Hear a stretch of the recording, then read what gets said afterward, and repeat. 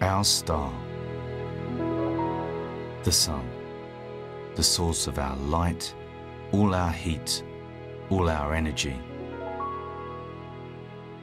The sun is really the power source for the entire solar system. So without the sun, uh, life on Earth would probably be impossible. The energy that we receive from the sun is crucial for, for a start, keeping us warm, for providing energy for the plants to grow. Um, it drives our weather.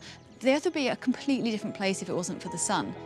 Yet close up, our star presents us with a far more violent picture. The temperatures are so high at the surface of the sun, humans wouldn't be able to survive. And along with that, the sun doesn't actually have a solid surface. The density is more like that of water, so you wouldn't be able to stand on the surface. You would start to sink in to this very hot, highly charged gas. We've both worshipped and feared it for thousands of years, but only recently have solar astronomers truly begun to understand our local star. To really get the best view of the sun, you need to go into space.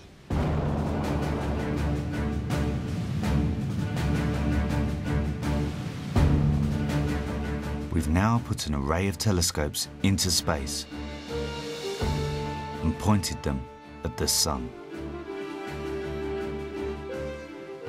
I can tell the spacecraft, or in particular my instrument, what to do from anywhere around the world. All I need is an internet connection and a laptop. Different instruments allow astronomers to look at the sun in different ways. Today we have instruments which are able to see the visible light coming from the sun. We can see ultraviolet light, extreme ultraviolet light, X-rays, and it is crucial that we have this complete coverage. Solar astronomers are revealing the secrets of our star. The sun isn't a perfect and unchanging object. It actually has sunspots on the surface.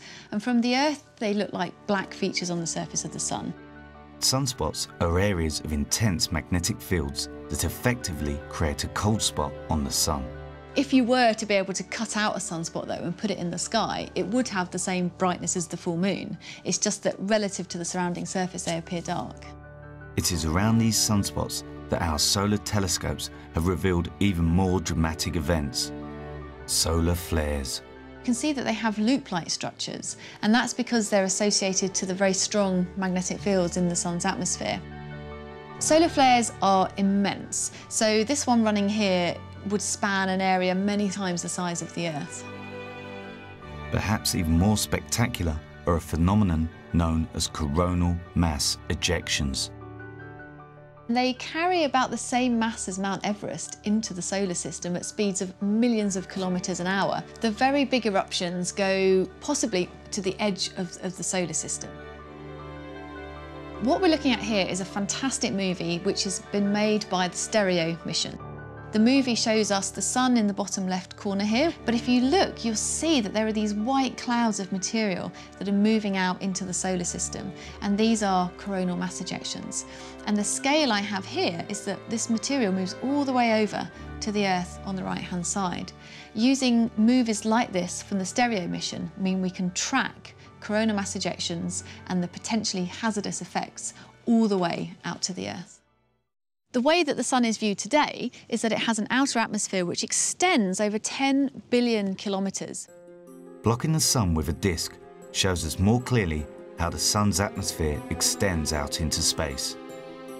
We really shouldn't view the sun and the earth as being unconnected objects. They are connected through the fact that the earth is sitting in the sun's atmosphere, and anything that happens in the sun's atmosphere affects us here on the earth. We call this space weather, and its effect on the earth depends on where the sun lies in an 11-year activity cycle. This speeded up movie shows how the sun passes from quiet to violent periods of activity. Now, interestingly, for the last two or three years, the sun has been at the minimum of the activity cycle. But we are coming out of that minimum now, and the activity will start to ramp up. And we're not sure what the size of the next peak will be, but we certainly do need to follow what the sun is doing so we can try and um, reduce the effects that, that this activity has on Earth. And that will include effects on, um, on our aircraft, on our satellite systems, on our communications. It could be that the satellite that your mobile phone is using fails, and also our electricity networks as well. The sun is really an object that we need for our day-to-day lives, but it is also an object that can destroy aspects of our day-to-day lives. So we kind of love and fear it in, in equal measures maybe. And really we should be respecting the sun and in particular we should be studying it to understand what, what it's doing.